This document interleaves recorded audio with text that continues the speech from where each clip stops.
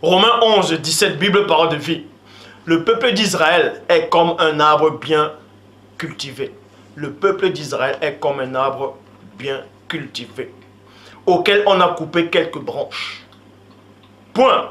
Toi, Begela, c'est-à-dire toi le païen, toi le, la nation, toi le peuple étranger, toi, tu es comme la branche d'un arbre sauvage. Et on t'a greffé parmi les branches qui restent sur l'arbre cultivé.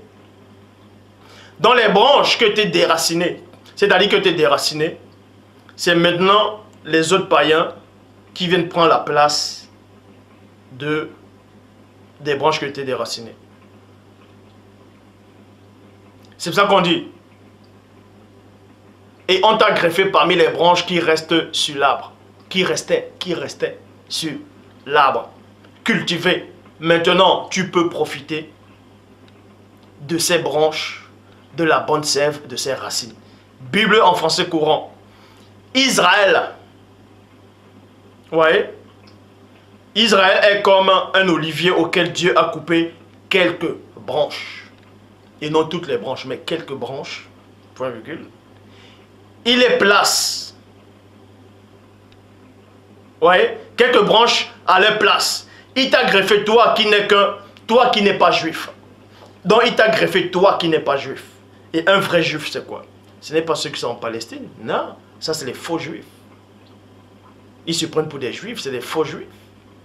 Les vrais juifs, c'est ceux qui viennent de l'Afrique ancestrale, l'Afrique centrale. C'est ceux qui sont issus des douze tribunes de Yikuba. Ça, c'est les vrais juifs. Mais bon, toi qui n'es pas juif, comme une branche d'olivier sauvage, tu profites maintenant aussi de la sève montant, euh, de la racine de l'olivier. Verset 18, c'est pourquoi tu n'as pas à mépriser les branches coupées. Donc toi, qui es un étranger, toi qui ne fais pas partie du véritable peuple de Dieu, et que Dieu a eu pitié de toi par rapport, déjà par la grâce, il a eu pitié de toi. Et maintenant tu l'as accepté par ta foi. Ne méprise pas les branches naturelles qui sont en Afrique. Vous voyez ces Africains, en Afrique ancestrale, en Afrique centrale, ils sont encore dans les calebasses, ils sont en train d'invoquer les, génies, ils, invoquent les mamiwata. Ne vous moquez pas d'eux. Ne vous moquez pas d'eux. Même s'ils sont tombés, ils étaient naturels. Ils ont été dupés. Ils sont tombés, ils ont abandonné le Dieu véritable. Et à cause de leur désobéissance, on vous a, on, vous a mis à les places. Et maintenant, Paul de dit, ne vous moquez pas d'eux.